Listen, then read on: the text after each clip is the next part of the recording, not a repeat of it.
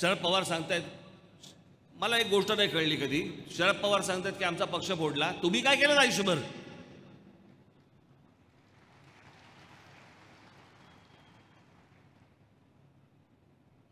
अठ्ठ्याहत्तरला काँग्रेस फोडलीत. एक्क्याण्णवला शिवसेना फोडलीत. त्याच्यानंतर नारायण राणेचं झालं ते गेले त्यांना फोडलं तुम्ही कसल्या फोडाफोडीच्या गोष्टी बोलताय? आणि अजित पवारांबद्दल मी बोललोच होतो. इतके दिवस झाले बरेच दिवस ओरडत होते.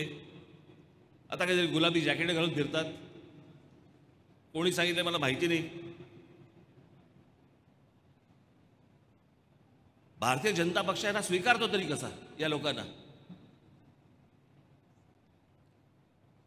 अजित पवार भारतीय जनता पक्षामध्ये यायच्या अगोदर आठ दिवस अगोदर पंतप्रधान नरेंद्र मोदी सांगतात की सत्तर हजार कोटीचा भ्रष्टाचार केलेल्या लोकांना आम्ही जेलमध्ये टाकू.